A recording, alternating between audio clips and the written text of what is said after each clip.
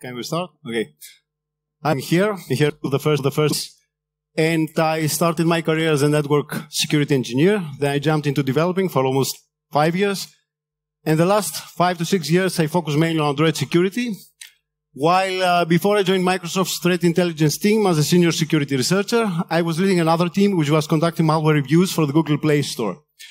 Besides that, I'm a father of two, a boy and a girl. In my free time, I mostly write and play uh, music. So before we start, I would like to address a question which I get quite often during my talks. Can you guess this question? What? Sorry? No? You're close though. So let me help you. Yeah, so the common question that I get is uh, how come a Microsoft security researcher talks about Android security and all this kind of stuff? So as I said before, I have been following up with development cybersecurity for quite a long time. And I can assure you, although I think that you also agree with me on the fact that uh, today's threats need a more, let's say, holistic approach.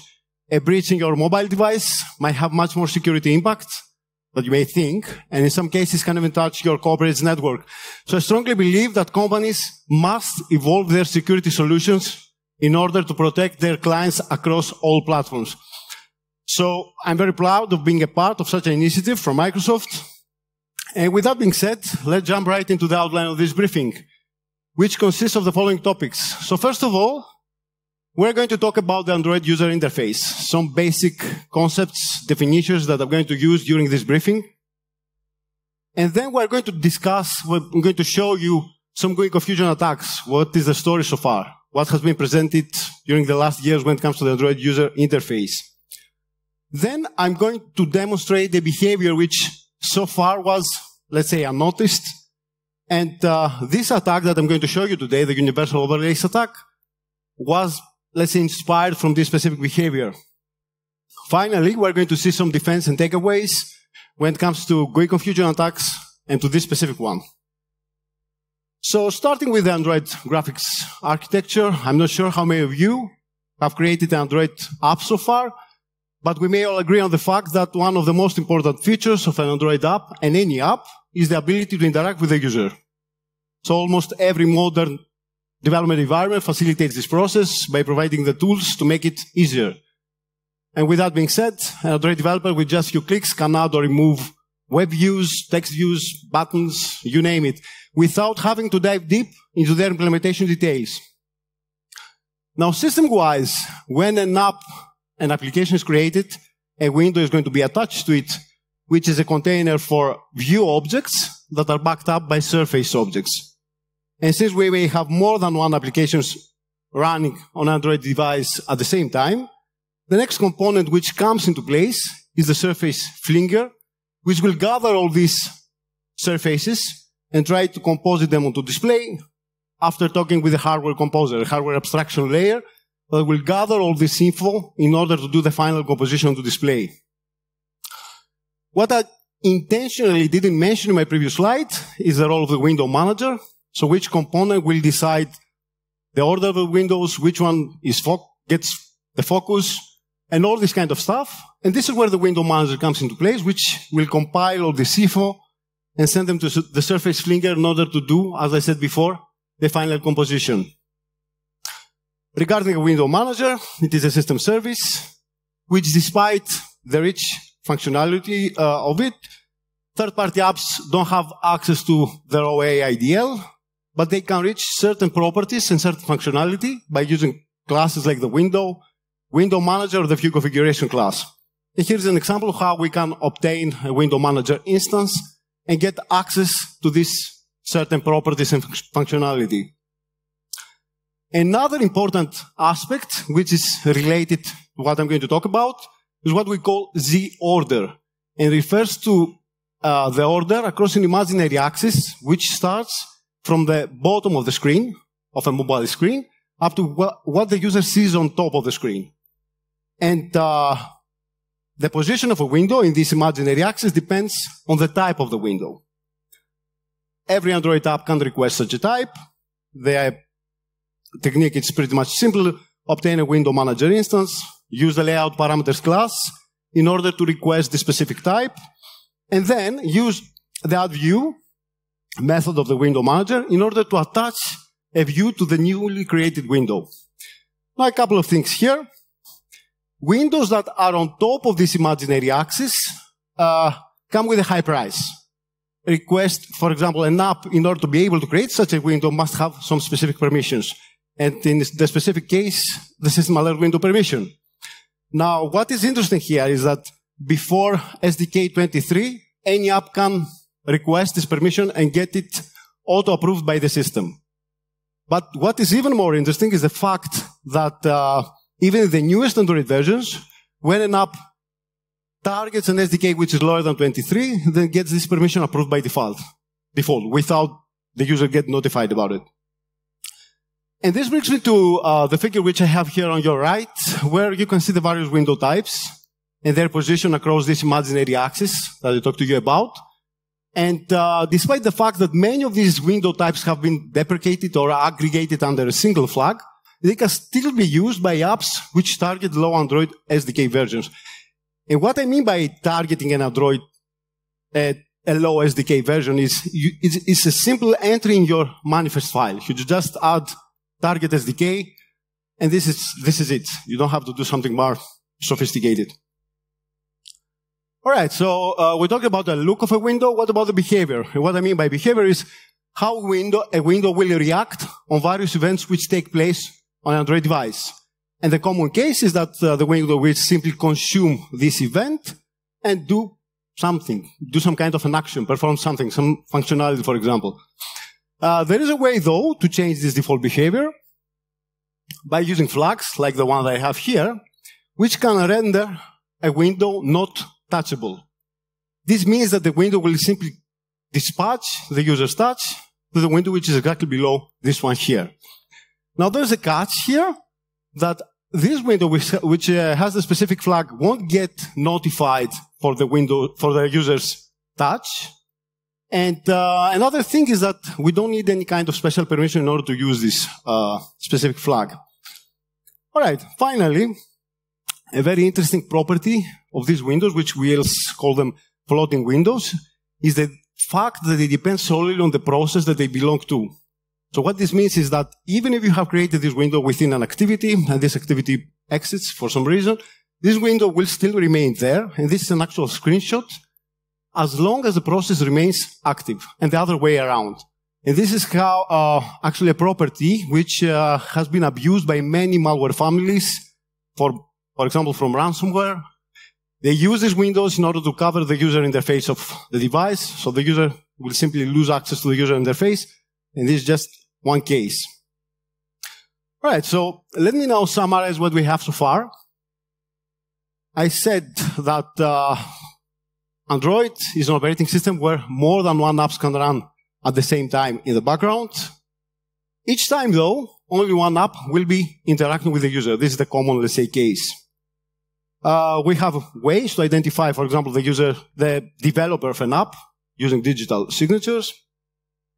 And we can, uh, let's say, uh, make sure that an app meets some specific criteria if we install this app from a trusted source like the Google Play Store. Although, there is no explicit info showing to the user about the actual user interface and the application that it belongs to, which means that any app can imitate the user interface of another app and claim the identity of it, right? All right. And this brings me to our first main topic, which is the GUI confusion attacks, starting by the obvious. Uh, attacks which, let's say, uh, leverage some kind of tap jacking vulnerability or some kind of a vulnerability on some flags, which, uh, and the way they can be used are, let's say, underestimated when they're compared with attacks which depend on, uh, let's say, some memory corruption bugs and so on. This is, though, a little bit unfair if you consider the fact that almost every modern malware campaign uses this type of uh, attacks in order to achieve their targets. Uh, Cerberus, uh, all, all these, let's say, modern phishing campaigns are using the specific type of attack. So we may uh, classify these uh, GUI confusion attacks in three main categories. The ones that are using overlays, task hijacking, and activity switching. And I will start with the first one. So the overlays. The idea is to conceal a part or all of the message which is communicated to the user via some graph graphical user interface in order to alter this message and trick the user to take a decision that we normally take. Imagine, for example, that we have a cyber criminal, a fraudster, which promises a, a, service or a product, but requests for this product a large payment, so it will send uh, a, a, request to the user's bank. The user's bank will send a push notification to the user's device or something. The user will see the amount and will simply reject the payment. Now, if the same request originates from an, from an APK which can create these overlays, then this amount can be simply concealed and the user may be tricked in order to approve the request. So, from what I just described, you understand that an app, in order to be able to perform this attack, must be able to create windows which are on top of this imaginary axis that I showed you before. And one way to do such a thing is by using type toast windows. And this is why this attack is called toast overlay attack. So these uh, type toast windows have a very unique property. They are, they have been created in order to be in, on the top of this imaginary axis because they want uh, to communicate an alert or some kind of a message to the user and the user has to take some immediate decision. So this is something which this attack leverages, this property. So again, as I showed you before, we can use the window manager instance, the layout parameters, and just request this specific type, set the click-through capability, transparency, and of course we can adjust the position of this window. This attack doesn't work anymore because uh, those windows up uh, since a specific Android version, I don't remember exactly which one, don't have a long lifetime, which means that this window will be shown for very short amount of time to the user, so it won't work anymore. All right. This works though. And uh, this attack uses type system alert or type application overlay window. But the user has to navigate to this menu and approve uh, the system alert window permission for your app in order for you to be able to do such a thing. A less known attack, which was first found in the Flare 99 adware, was this one here. So this uh, malware was creating a, was using a library. It was giving a couple of values, which were found to be window types. The one is that one uh, that I told you about, the type toast window, and the other one was the type presentation window, which was an overlooked, let's say, window type, which could create windows on top of this imaginary axis with no specific permission. So it was using these uh, uh, windows, window types in order to create a window manager instance, as we saw before in the native code, and just uh, create such a window if uh, the SDK version, depending on the SDK version, of course. Now this uh, vulnerability was addressed by DCV here. Now, if you ask me how this uh, was used by this malware, so in Android, since Android 10, an app can't start an activity from the background.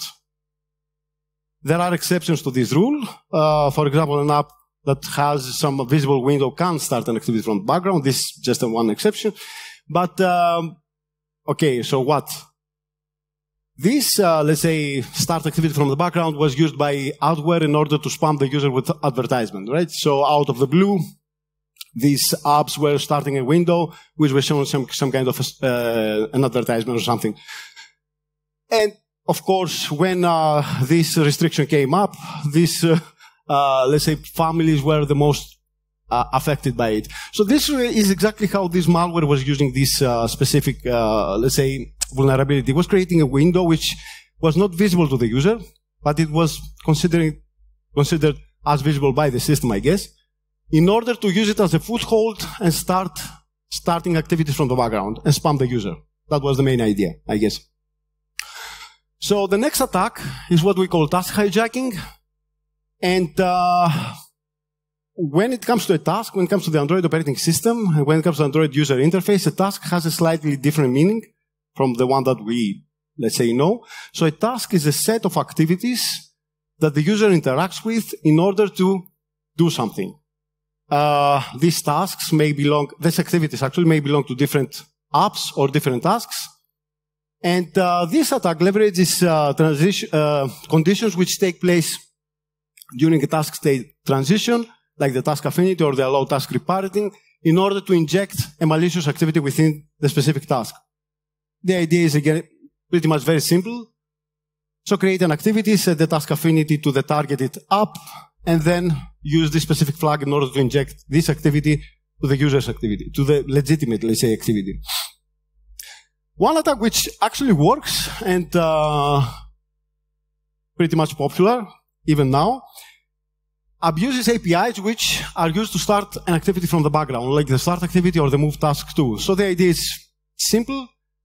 The malware will observe the foreground of the device, and if the app which is currently in the foreground is targeted, then it will start its own activity, which is identical to the one of the legitimate app in order to hijack uh, the user session. This is the main idea. There are restrictions, of course, to this, uh, let's say, attack. We can't see in the Android operating system right now, we don't know which app is running in the foreground. We can't start an activity from uh, the background, as I, as I told you before, but there are exceptions. The accessibility service, which can get your app opt out from any kind of um, UI restriction. The user's touch, which can be used with, with a small hack to uh, get the visibility of the window of the app which is on top. Uh, we have the system alert window permission, and of course we have the full screen intents, which can be used instead of a notification to send it uh, to start a full activity instead of a notification. And this is how it works. This is the first demo. Let me first make sure that it works. Yeah.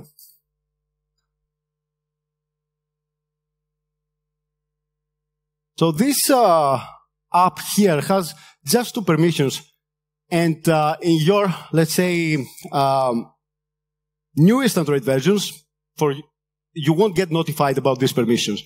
So let me show you again just to, uh, the user starts the legitimate app and the malware identifies that the legitimate app is targeted, so it will simply switch and start its own activity. That's the main idea. Right. So now let me explain to you the behavior that I said before on which this attack, the attack that I'm going to describe today, uh, let's say was inspired. So I said before that uh, an app can use the start activity to start an activity from, let's say, the background. This new activity can start another one. Now the question is how these activities are arranged on top of an Android screen. And then the answer is by using what we call a backstack. So imagine something like a last in, first out stack where the user can simply add or remove activities from the top of the stack by interacting with the user interface. Now, what is interesting here is that when an activity is pushed in this specific stack, it will retain its graphical user interface. What is even more interesting is the fact that, uh, let's say that the user starts another task, let's call it task B, then task A will go in the uh, background, but its backstack will remain intact, which means that when the user finishes with task B, then task A will get again the foreground and the backstack will be restored. Now this may sound a little bit confusing, so let me give you an example. Uh, so we are creating a transparent activity here. In order to do that, we can just create a transparent theme, set the window to be transparent, set the background to be transparent. We don't want any shadowing or a title. Uh, window is floating means that the window it can be moved freely. It's not anchored. And uh, we set the background dim enabled to false in order to indicate that we don't want to blur the window which is below this one. Next, I use my, let's say, target YouTube app due to the fact that it has some motion and I wanted to see what happens in this backstack when I, I will cover this uh, window, YouTube wi uh, window with my transparent activity. And this is what happened.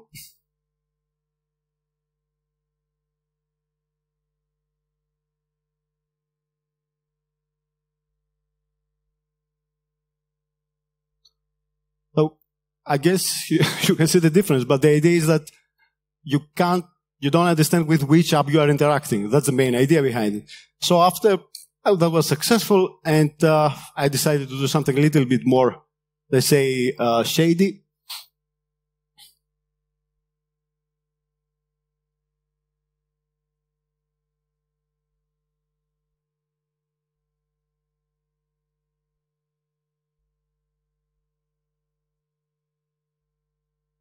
Yeah. So let's say that you desperate want a YouTube uh, premium account. Would you click on this one? So as you understand, the idea here behind this behavior is that we can, let's say, uh, integrate the user interface of the activity which is on top with the activity which is below. That this is the main idea, and this is actually what what is behind this specific behavior. Right. Okay, I guess we have something. We can integrate, as I said, the user interface of these two activities, which are on the top of the backstack. But can we leverage uh, this, let's say, behavior in order to have some kind of an actual security impact? Not yet, because we have restrictions. We don't, we can't see which app is on top, as I said before. We can't start activities from background due to the restrictions that uh, were imported in Android 10. And uh, we don't have yet click-through capability. So before I'm going to explain how I managed to leverage, actually to, yeah, to leverage what I have so, so far in order to get some kind of an actual security impact, let me explain my targets. So I was targeting um, what we call important dialogues. And what I mean by that, I was targeting dialogues which request from the user to take an important decision. What this may be when it comes to third-party apps, I was after dialogues which request from the user to approve a payment or approve a remote login. When it comes to system apps, though, which is the most important in this case, I was uh, targeting dialogues which request from the user to approve a permission to the user's uh, SMS or uh, call logs. So these kind of permissions or uh, uh, access to some privileged service or system settings and so on. Now we may classify these dialogues in two main categories. Single step decision dialogues. Simply said, a window will pop up. The user will click on it and a decision will be made, will reject or approve uh, the request, or multi-step decision dialogues where the user has to follow uh, some steps in order to get to a final UI and approve or reject a permission. So starting with the first one, which is the first line of defense of the Android operating system when it comes, comes to privacy, to your privacy. So permission dialogues, which control access to, uh, as I said before, call logs, SMS logs, contacts, or even devices like microphone, camera, and so on. Now, these dialogues, before Android 11, belong to this package here. And uh, in Android 11, they moved to an Apex, this, this, Apex here. But they can be customized by OEMs using runtime resource overlays. Now, the main idea is what kind of window these dialogues were using. And to my surprise, they were using a, a simple base application window but they had a couple of interesting flags. And the most interesting is the second one, which is um, the hide non-system overlay windows. Let me tell, tell you some things about that. So uh, this flag can be used by system apps in order to protect dialogues from type toast or system alert window windows. And I said system apps because for an app to use this flag must have this permission here, which is signature privileged. So it can be used only by uh, system privileged apps. Although this then moved to the hide overlay windows in Android 12 and now actually it can be used by any app. Anyway, if you think about it, what I showed you before regarding the transparent activity, it was a simple base application window. So it didn't use any kind of special window. So it won't get affected by this app. So the next step was to simply, uh, let's say, get click-through capability, and this was embarrassingly simple. Get the handle of the window that I want to, let's say, get this property, and set the flags as I showed you before. And finally, add a couple of views here and there in order to cover the parts of the window that I was interested about. So this is uh, the result, and in your, let's say, uh, in your left side, you can see your the permission dialog in your right side, you can see the permissions overlay, how it looks. And this is how it looks in action. Give you some context. The app starts with zero permissions, approved.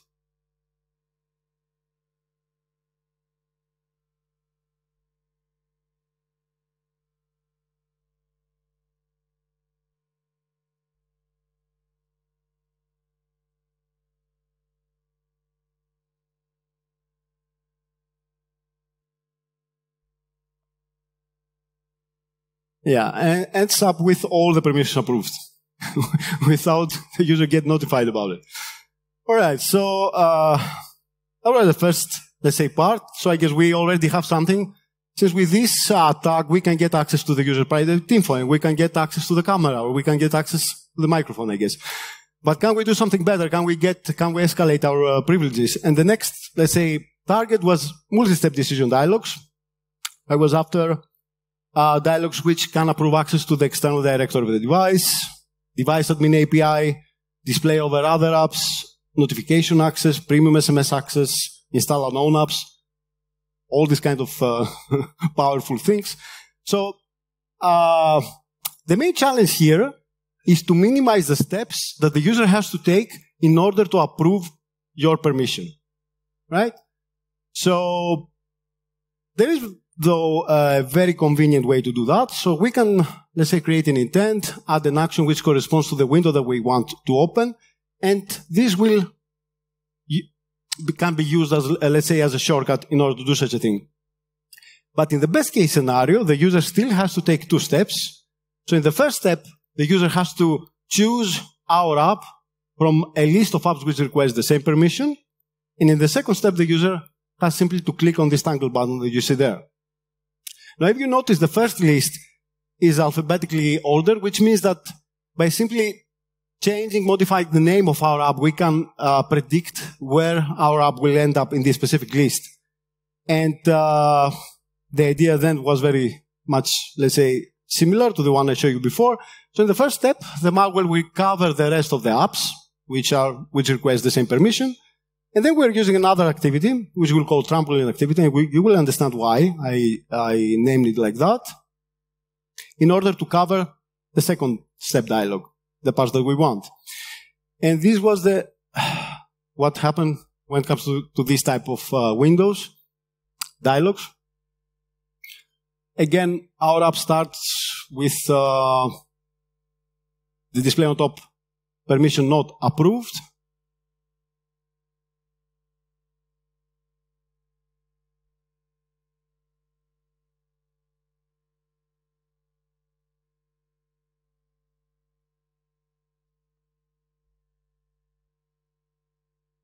And ends up with the permission, the specific permission approved. I guess, uh, let's say uh, some of you may observe some kind of a delay, which when it comes to uh, changing these uh, views, but this can be adjusted. Actually, this was in this case it was uh, we use a simple timer, but it can be simply adjusted and eliminate the specific delay. All right. So, uh, all right. So, what we managed to get with this, let's say, attack when it comes to this type of dialogues as you saw before, I managed to get all the dangerous permissions, file access, uh, device admin, access to the device admin API, display over other apps, modify system settings, install unknown apps, and get usage access. And as you understand, with all these permissions and all these privileges, now we can do whatever we want in, in an Android device. Which, uh, let's say, dialogues were not vulnerable? The accessibility service dialog, and the notification access. And when I say the notification access is uh, these notifications that they are shown in your device, so an app could get access to these notifications and uh, read, be able to read them. All right. So let me get in some details on how this, let's say, effect was created. So starting with the main activity, we are uh, creating an intent which will start the display on top access menu, just the first instance. Then we're starting another activity, which we'll call trampoline activity, to start a second instance of the display on top access menu. Anyone can guess why we're starting two instances of the same activity? I got you sleeping. So, uh, no, the, the, the idea is, as I told you before, when, uh, since we have click-through capability, we won't get notified that the user clicked on our, uh, on our, let's say, uh, activity, on our view. So what we do in order to understand that the user just clicked. So when the user clicks on the display on top access menu, the first instance, our app will go on pause state. So we understand that the user simply clicked. So then we can just create another activity, which we'll call trampoline activity that will cover the first part of the, this dialog. Then we go again on pause since the user clicks. And then we just start the second, uh, let's say, overlay in order to cover the second step uh, dialog. And then finally, we can simply redirect the user to another activity or out to another app. Uh, what I didn't cover so far is how we get the step, the actual step that we are currently in. I mean, the first step or the second step and so on. And this, this is pretty much uh, trivial. We can create an intent. And uh, depending on this, uh, let's say, extra info that carries with, we can get the actual step, right? The first step or the second step. So this is the idea. Get the step that we are currently in, create a window manager instance, um, cover the parts of the screen that we are interested about when it comes to the first step. Then when we go in on pause state, we modify the activity, I mean the, the views. And finally, we cover the second part of the screen. This is uh, the idea behind this attack when it comes to multi-step dialogues. All right, so let me now summarize when it comes to uh, the overlay attacks, the universal overlay attacks. So the basic idea is that the user can't identify the app that they're currently interact with, right? There's no indication to show to the user with which app you're interacting. The user can just identify the user interface that interacts with. And uh, we talked about um, uh, the backstack, and we said that when an activity is pushed in this backstack, it will retain graphical user interface, which is pretty much crucial for this attack. Uh, since we can integrate the user interface of the activities with, which are on top, the, the one with uh, the, two, the two activities which are on top. Finally, by adding click-through capability, as I show you, we can uh, click, I mean, hijack the user's click and uh, send it to where we exactly we want. Finally, using this attack, we can hijack single-step decision dialogues, multi-step decision dialogues, and any kind of third-party app. All right. So how we can protect Android apps from these or even similar type of attacks? And this code that you see here was uh, adapted from uh, the OWASP and the dialogues which were not vulnerable to this attack. So when an event, a, a touch event is created, it carries some info with it. And uh, this info can be used in order to identify that our window is not, let's say, um, obscured or partially obscured by another one. And this is actually the flag. So by using this flag, we can simply identify if our window is obscured. And we can simply then consume the event and reject it. Don't do anything. And this is how exactly was mitigated this issue. Now, when it comes to Android 12 and after, we have the hide overlay windows uh, permission, which can allow, to use, uh, can allow you to use the specific uh, API method. Although this won't protect you from this specific attack, but it will protect you from type toast or system alert window uh, windows. All right. And uh, with that, I will be happy to answer questions if you have any. Thank you very much.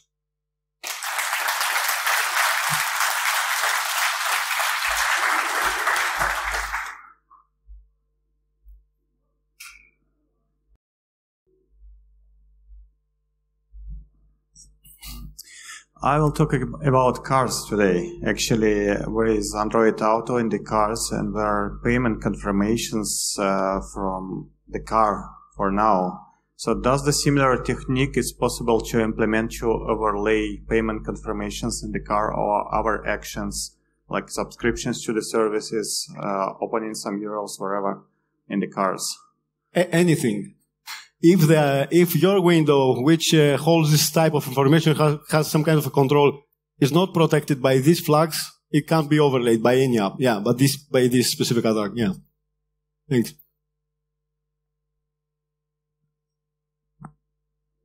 More questions?